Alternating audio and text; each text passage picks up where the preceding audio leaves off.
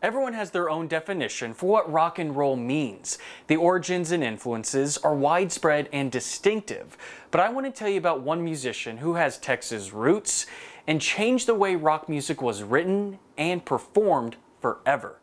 I'm talking about Charles Hardin Holly, or more commonly known as Buddy Holly.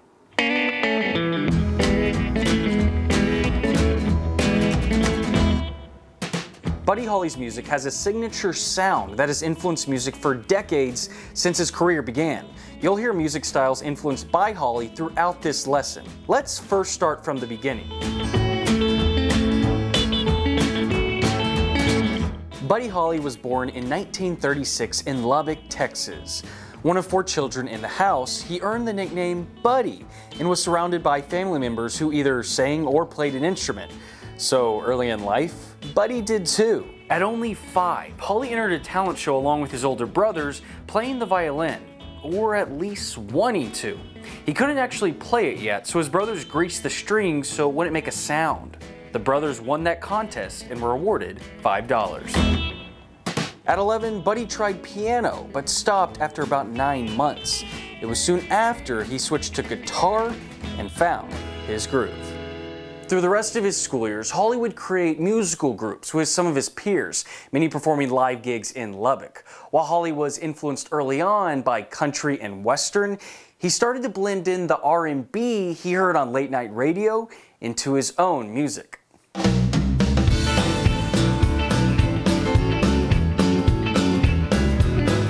After graduating from Lubbock High School, Holly decided to make music his career. A big influence was seeing Elvis Presley perform live in Lubbock, who he then opened for not just once, but three separate times in the same year.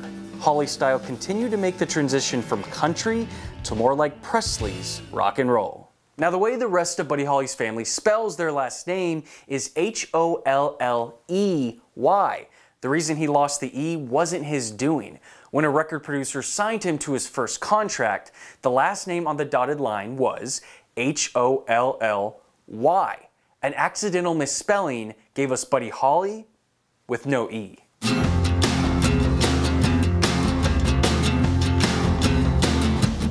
Holly took on the role as lead guitarist for his band, with Jerry Allison on the drums, Niki Sullivan on rhythm guitar, and Joey Mauldin on the bass. His drummer suggested the name The Crickets, influenced by other groups named after birds.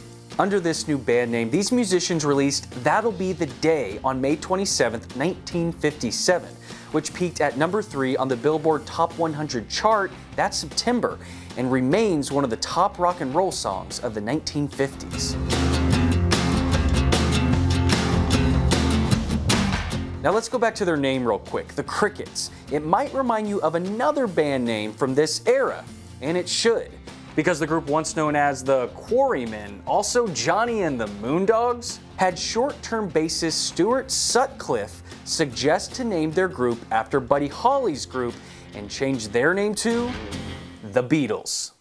It was at this point Holly's career really started to take off. While That'll Be the Day sat atop the charts in September of 1957, Buddy Holly and the Crickets released Peggy Sue, which also made it to the top three of the Billboard's pop chart. That December, Buddy Holly and the Crickets performed on The Ed Sullivan Show, a variety show where countless up and coming musicians and bands showed up on before going on to find fame.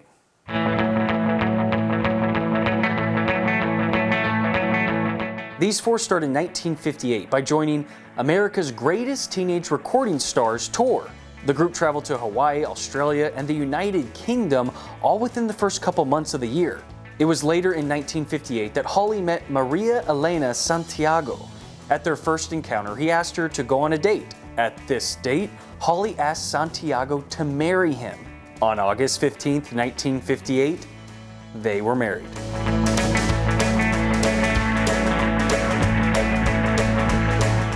Later that year, Holly split from his manager after disagreements over royalties and payments, and also split with his current band members to form a new group. With fellow rock and roll musicians Ritchie Valens and the big bopper J.P. Richardson, Holly chartered a four-seated airplane to go from Mason City, Iowa to Moorhead, Minnesota as a part of the Winter Dance Party tour. Shortly after taking off in bad weather, the plane crashed, taking the lives of these three musicians and making February 3, 1959 universally known as the day the music died. Living until he was about 22 years old, Holly's career only lasted about 500 days. There are only a handful of videos you can even find of him performing. Even so, the demand for his music allowed for new albums and singles to be released for the next 10 years. Countless artists have pointed to Holly for their inspiration, including a 17 year old Bob Dylan.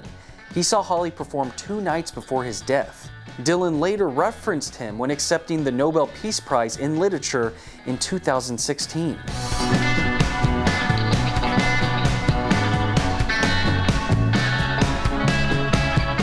Nearly 30 years after his death, Holly was honored by being a part of the first class in the Rock and Roll Hall of Fame, with museum leaders calling him an innovator and someone who made a major and lasting impact on popular music. In the same year, the Songwriters Hall of Fame also inducted Holly, saying he changed the face of rock and roll. Lubbock has found many ways to honor their hometown celebrity, including the Buddy Holly Center, filled with Holly memorabilia and fine arts gallery. 10 years ago, Holly's wife helped establish the Buddy Holly Educational Foundation, which helps support writers and musicians around the country and world with ambassadors such as Mick Jagger, Dolly Parton, and Ed Sheeran. The foundation's main goal is to empower artists to think big, to think bold, and to think differently. It was a life cut too short, but a life worth remembering. There was music there at the beginning and right up to the end. While it's now been more than 60 years since Holly passed away, I'd like for you to hear from people who know their music and want to let you know what they think of Buddy Holly. I think the two primal forces in the 50s at that time, in the mid 50s, were, were Elvis and um, Buddy Holly. He was a very proud Texan, you know, a Lone Star State, and you know he was he was uh, he was a tall Texan, very a beautiful guy, beautiful guy. Yeah, such a such a glittering and such a tragically short career, but boy, he changed the world, Buddy, completely in that time.